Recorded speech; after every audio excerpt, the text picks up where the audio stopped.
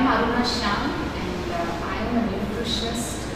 Uh, I've been teaching in voluntary health service uh, for uh, more than 15 years and I've been doing a lot of training uh, for personality development and communication skills to a lot of youngsters.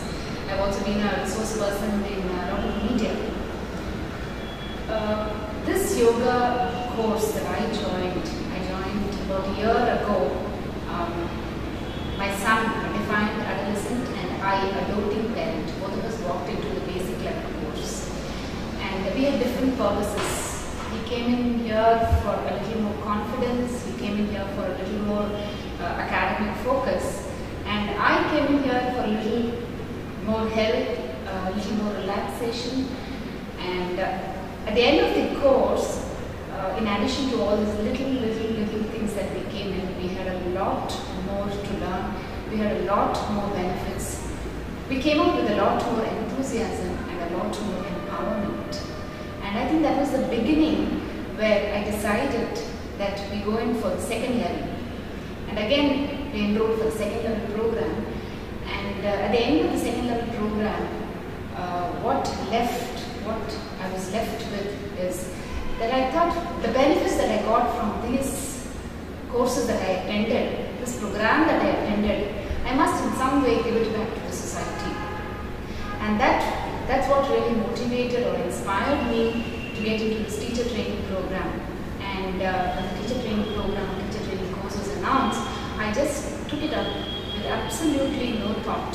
I just took it up with no expectations. And all I wanted at that time was I wanted something more to deepen my knowledge, to deepen my practice, so that I could give back to the society what this center, what I learned from this center, I wanted to give it back to the society. And uh, the first day I remember so well that when I walked into this class, I really felt the unseen hand of God leading me into this program.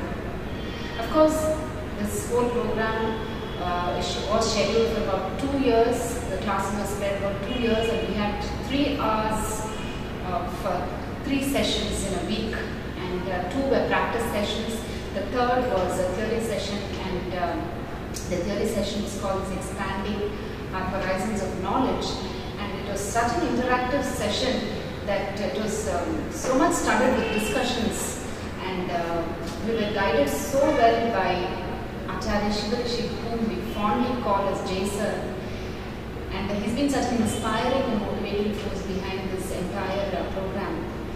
And uh, what I like really most about uh, this entire center is immaculately organized it functions, the lovely library that actually helps you for your self-study, uh, which is something that's very, very close to my heart.